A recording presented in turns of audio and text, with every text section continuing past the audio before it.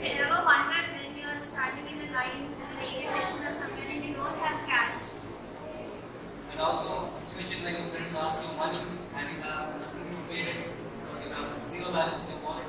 So we made an RFID based payment system by which you can actually transfer money directly to the friends or by just tapping a. So these are powerful solutions to the payment model and we have revolutionized payment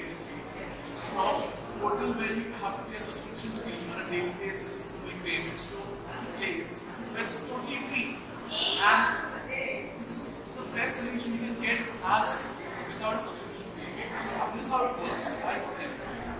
So, um, so Lightning Card's payment system as you see it, now it says place your card.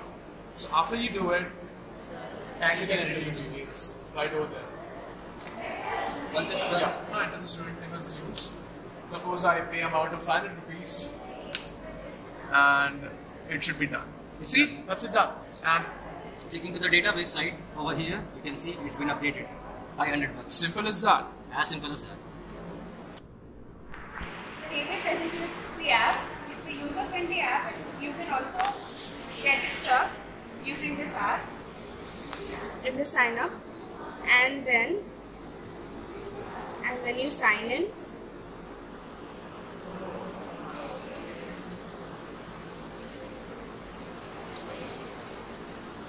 and then you log in with your credentials.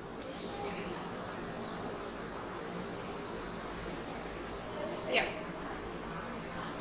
And after you log in it shows you the welcome page. And then and then it this is the so this is the payment system interface or user interface.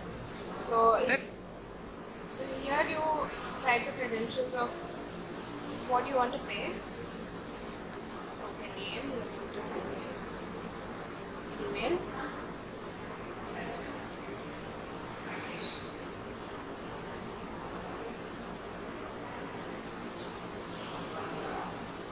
phone number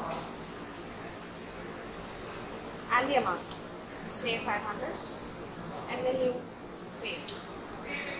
So the payment successful and then you also get a redesigned email to send it